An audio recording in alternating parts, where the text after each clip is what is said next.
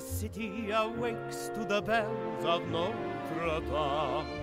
The fisherman fishes, the baker man bakes to the bells of Notre Dame. To the big bells as loud as the thunder, to the little bells soft as a psalm. And some say the soul of the city's the toll of the bells. The bells of